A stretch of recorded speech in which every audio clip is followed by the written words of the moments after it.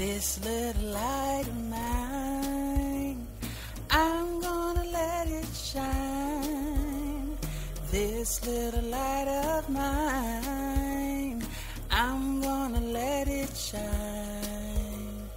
This little light of mine, I'm gonna let it shine, let it shine, let it shine, let it Hi, shine. Omni Kids. I'm back. It's Dr. Hayes Burrell. We're back again, and we are going to talk about Kwanzaa. We've already celebrated Christmas, and I know you had a wonderful, wonderful day celebrating the birth of Christ, exchanging presents with your family and your friends. And the next day, over the next seven days, that is, we will be talking about Kwanzaa. We will be celebrating Kwanzaa. So you might ask, what is Kwanzaa? Kwanzaa is an African American holiday celebrating African heritage and culture. It was created in 1966 by Dr. Karenga and is now celebrated by millions of people worldwide. The word Kwanzaa comes from the Swahili phrase that says Matunda ye Kwanzaa, which means first fruits. Now, Kwanzaa is also based on seven core principles. We're going to talk about the principles at the end. But what we're going to do today, I'm going to show you my table. I'm going to set up my Kwanzaa table here, and then I'm going to take it upstairs next to my Christmas tree. So, since we talked about Kwanzaa and it's a week long celebration, it honors our African heritage and our culture. We observe it from December 26th through January the 1st, every single year. So, during Kwanzaa, a table is set up and seven symbols then represent the seven principles of African culture and community. Here are the seven symbols of Kwanzaa and their meaning. But before we begin, we're going to pray. God, we thank you that you've given us this space and time to come together. We honor you with all that we have and all that we are. We thank you for each and every gift that you've given us physically and intrinsically, those gifts that are inside that we're going to now pour out and give back to the world. We thank you for this day. In your son's name I pray. Amen. The first symbol is called Mkeka. This is the mat. It's usually made of straw. It can be made of cloth. And you put that on your table, and this is where all the other Kwanzaa symbols are going to be placed on top of it. The mat represents the foundation of all African tradition and history Mkeka. The second is the mazao, which are crops and fruits and vegetables and nuts. They represent the African harvest and they celebrate, and we celebrate and we show respect for the people who labored to grow them. These pecans came from the tree from my father's hometown in Mullins, South Carolina. We have a big pecan tree in the yard, and my aunt sends me a box of pecans every year when we get a harvest.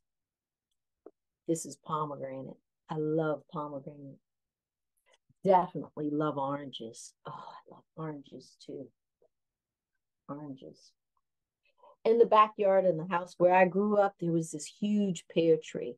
And my mom would cut pears and make pear pie and tarts out of it every year. These are the fruits that we harvest. The Kinara. Kinara. It's the candle holder. This wooden block is called the Kinara, and it holds the candles that represent the original stock from which all African ancestors came. It holds the seven candles. Mishumaa. In the seven candles, each of them represent a different color for us. Mishumaa. Each candle is then red, the black, and the green. This is symbolic of the African people and their struggles. Muhindi. Muhindi. Muhindi is corn. Stalks and stalks of corn. Corn represents African children. It represents all the children that we have, African children, and the promise of their future. One ear of corn is set out for each child in the family. In a family without children, One ear of corn is set out to symbolically represent children in our community. So, you know, I have children and I have grandchildren. I'm putting them down for my children and my grandchildren.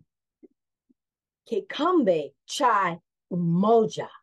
There you go. Big words. Kikombe chai umoja. That is the unity cup. The unity cup symbolizes the first principle in Kwanzaa, the unity of the family and of the African people. The cup is used to pour libations. You can put water in it, juice, fruit, or wine for family and friends.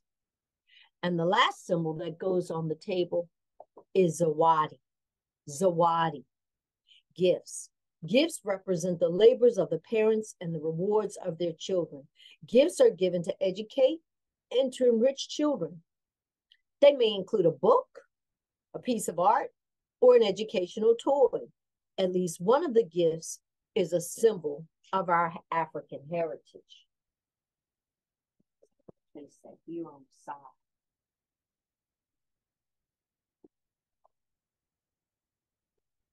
The seven symbols of Kwanzaa. They appear. We have the ears of corn. We've got the straw mat. We've got the cup that symbolizes unity, the candle holder, the candles, and the fruits and the vegetables. These seven candles also help us to represent the holiday's seven key principles.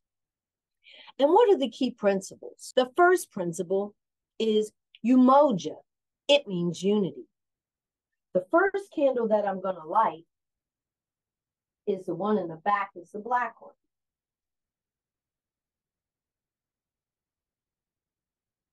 We light that one, Moja, to strive for and maintain unity in the family, the community, and the nation and the race. The first day of Kwanzaa, that's the first one we light. The second one is Kujichagulia. It means self-determination. We like that red candle to define ourselves, to name ourselves, to create for ourselves, and to speak for ourselves. On this night, normally we have the African naming ceremony at the church. If you need an African name, if you haven't received your African name, put in the application so that you can too have your African name. My African name is Dalila Ayan. Dalila Ayan. The third principle, Ujima, collective work and responsibility.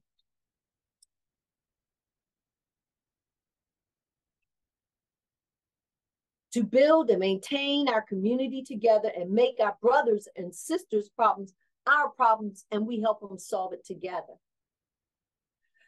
Ujamaa. Ujamaa. This is cooperative economics. Ujamaa. Ujamaa. To build our own stores and shops and other businesses and to profit from them together. Ujamaa. The next principle is Nia, purpose to make our collective vocation the building and developing of our community in order to restore our people to their traditional greatness. The sixth one, Kuumba, creativity. Creativity, Kuumba. To always do as much as we can in the way that we can in order to leave our community more beautiful and beneficial than we inherited it. Kuumba, creativity. And the last candle is Imani, faith. Imani, to believe with all our heart in our people, our parents, our teachers, our leaders, and the righteousness and victory of our struggle. To have faith, Imani. These are the seven principles of Kwanzaa and how we light the candles. There's a song that we sing at church, and it is wonderful. And it says, Kwanzaa is a holiday. Kwanzaa, Kwanzaa, Kwanzaa is an African holiday. Seven principles, seven candles, seven black days for the African. Kwanzaa is a holiday. Kwanzaa, Kwanzaa, Kwanzaa is an African holiday. Seven principles, seven candles, seven black days for the African. I hope you celebrate your Kwanzaa ceremonies this week, this year, and may you all be filled and have your days be filled with powerful love, courage, peace, unity, strength, positivity, and hope for a better, better, better tomorrow because greatness lies within you. Well, this is the end of this Omni moment. Hope to see you in service soon. And of course, we want you to like and share this video with all of your friends. And we'll see you the next time on the Omni Moment. Have a good day.